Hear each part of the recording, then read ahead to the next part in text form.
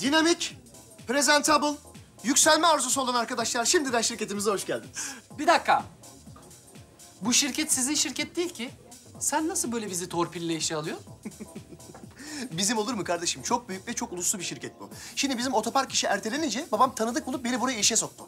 Tecrübe falan olsun hesabı yani. Ya detaya girme arkadaş. Lise diplomasıyla aybeden plaza insanı oluyoruz işte. Vallahi ha.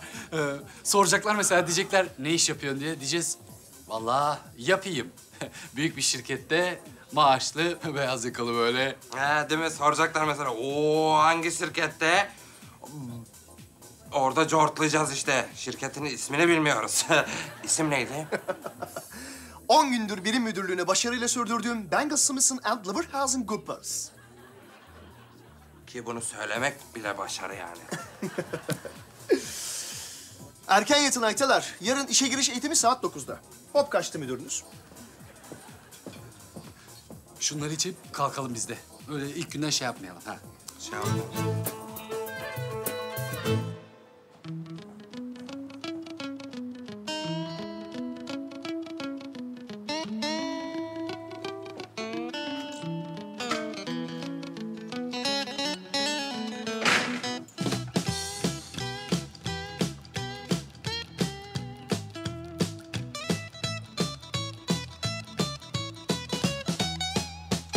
Aydınlanmış. Saat beş, altı falan mı ya? Oha sekiz buçuk. Allah belamızı versin. Şeye geç kaldık. Şirket. Gangbang mıydı neydi? Simon and Garfunkel.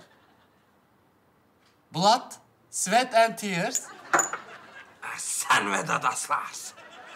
Yürü lan, yürü!